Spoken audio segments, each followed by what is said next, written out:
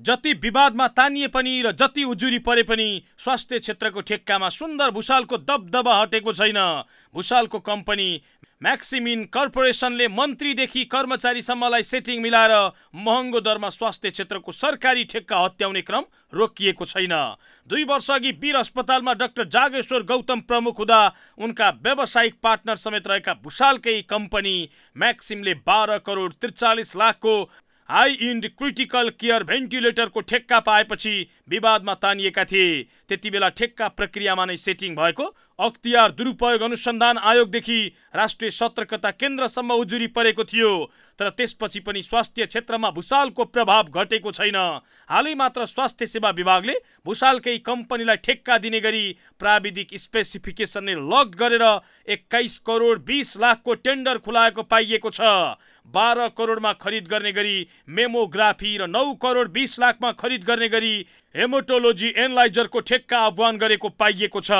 Covid कालमा विश्व ब्याङ्कले दिएको पाँच अर्ब मध्येको ऋणबाट खरिद गर्न लागि यी सामग्री म्याक्सिमले पनि अन्य कम्पनीसँग मिलेर खरिद गर्न लागेको बुझिएको छ। तर खुल्ला प्रतिस्पर्धा हुन नसक्ने गरी म्याक्सिमले बुझाएको स्पेसिफिकेसनकै आधारमा स्पेक लक गरेर टेन्डर आह्वान गरिएकाले यी दुई सामग्रीको ठेक्का म्याक्सिमले पाउने करिब निश्चित छ। हेमोटोलोजी एनलाइजर अन्तर्गत थ्री पार्ट पचासवटा फाइभ पार्ट भएको बिसवटा र एबिजी मेसिन पन्ध्रवटा खरिद गर्ने तयारी छ। एबिजी मेसिन इडानको कम्पनीको स्पेसिफिकेसन लग भएको छ। भूषालले भूपेन्द्र श्रेष्ठ सञ्चालक रहेको टेक्नो बायोमेटसँग यो सामग्री खरिद गरेर विभागलाई बेच्ने तयारी गरेको स्रोतको दावी छ। आपूर्तिकर्ताका अनुसार यो हेमोटोलोजी एनलाइजरको बजार मूल्य चार करोड हो तर कमिसनको चलखेलका कारण चार करोड बढी रकममा विभागले खरिद गर्ने तयारी गरेको छ। मङ्गलबार यसको प्रि बिडिङ समेत भइसकेको छ। त्यस्तै विभागले खरिद गर्न लागेको पाँच सेट मेमोग्राफी मेसिनलाई बजारमा करिब सात करोड रुपियाँ मात्रै पर्छ तर विभागले बाह्र करोड रुपियाँमा खरिद गर्ने तयारी गरेको छ। यसको पनि आइतबार प्रि बिडिङ भइसकेको छ। प्रि बिडिङमा अन्य कम्पनीहरूले स्पेसिफिकेसन लग भएको भन्दै परिवर्तन गर्न उजुरी समेत दिइसकेका छन्। तर विभाग प्राविधिक मूल्याङ्कनमा भूषालकै कम्पनीलाई मात्र पास गराएर महँगोमा यो सामग्री खरिद गर्ने तयारी भएको छ। यद्यपि विभागका व्यवस्थापन महाशाखाका निर्देशक विभागले खरिद गर्न लागेको सामग्री प्रक्रिया अनुसार नै खरिद भइरहेको बताउँछन्।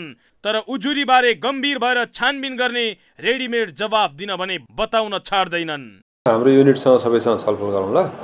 खरिददेखि लिएर तपाईँको बायोमेडिकल होइन टेक्निकल टिम सबैसँग सल्लाह गरेर त्यो अनुसार अब तपाईँको जवाबहरू कलेक्सन गर्छु म। यस्तो छ। निवेदन परिसकेको छ अब जस्तै अस्ति पिपिआरसीबाट हामीले क्लियरेन्स पायौँ होइन। किनभने उहाँहरूको अब त्यही त नि उजुरीमा चाहिँ बेसिकली कस्तो हुन्छ भनेदेखि यहाँ अब उसमा चाहिँ सप्लायरहरूमा पनि अब जस्तै भनौँ न आफूलाई पर्दाखेरि चाहिँ ल यो भयो भने तपाईँ जस्तै अब अरू कलेक्सन हुन्छ होइन ल यो चाहिँ हाम्रो नपर्दाखेरि चाहिँ यो छैन है त्यहाँ भन्ने किसिमको जस्तो हुन्छ। त्यो यहाँ मात्रै होइन सबै संसारभरि नै हुन्छ होइन। त्यसले गर्दाखेरि ठिकै छ आफूलाई